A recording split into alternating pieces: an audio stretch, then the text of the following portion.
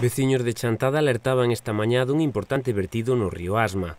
Un forte cheiro e a turbidez da auga eran evidentes despois da tormenta e da forte chuvia, tanto que a xentes do Seprona e de Medio Ambiente se desplazaron de ica ao lugar despois da denuncia deste gandeiro que atendía o seu gando nun prado situado nas inmediacións da estación depuradora. É un apogeo, sí, por supuesto, podese ver perfectamente no río, xa, xa se pode, pode comprobar todo o mundo como para bañarse aí, O problema é meu é, aparte de que contaminan o río, que ten unhas vacas un pouco máis adiante, e se teño que coller un pouco de agua para que, de, para que beban, é imposible. Con isto é imposible que teño, teñen crías e morren. Atopouse máis veces con esta situación? Si, sí, isto se ve a menudo. Isto cada vez que chove, abren a depuradora e mierda para o río.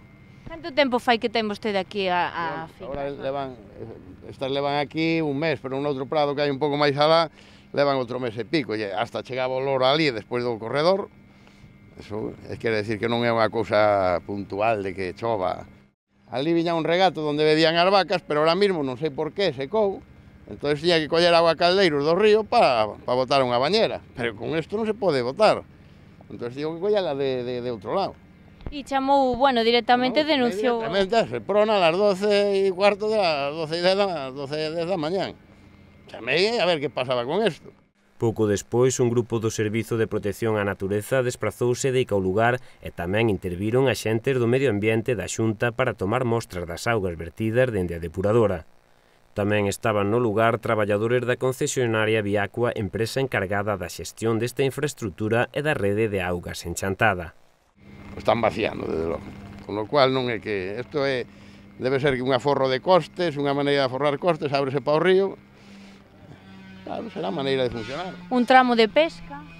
Sí, bueno, pesca sin morte xa, pero bueno, supoño que non habrá moita pesca hoxe aí. Tardaron non sei cantos anos en tapar a alcantarilla que estaba no Prado, porque tamén porque tuve, tuve que avisar de que me iban a querer os becerros nos buratos da alcantarilla. Eso se arreglou esta semana.